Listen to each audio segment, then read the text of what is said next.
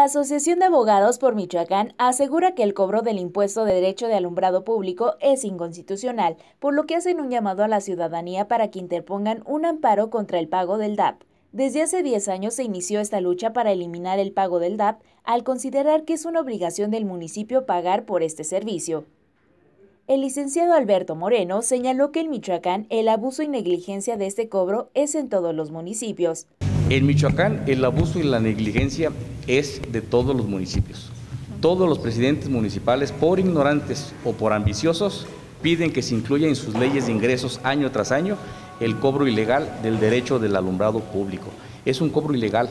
Ellos lo saben porque hay jurisprudencia desde 1978 que la Suprema Corte de Justicia de la Nación ha señalado que el Congreso local de Michoacán viola el artículo 73 constitucional año tras año y esto no le importa ni a los presidentes municipales, ni al propio, ni a los, ni a los diputados del Congreso de Michoacán. Por otra parte, mencionó que los municipios que más han seguido el movimiento Antidad es en el oriente, Marabatío, Zitácuaro y Morelia.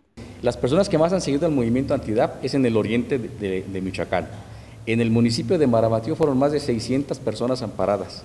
En el municipio de Zitácuaro fueron más de mil. Aquí en la capital michoacana fueron otros mil.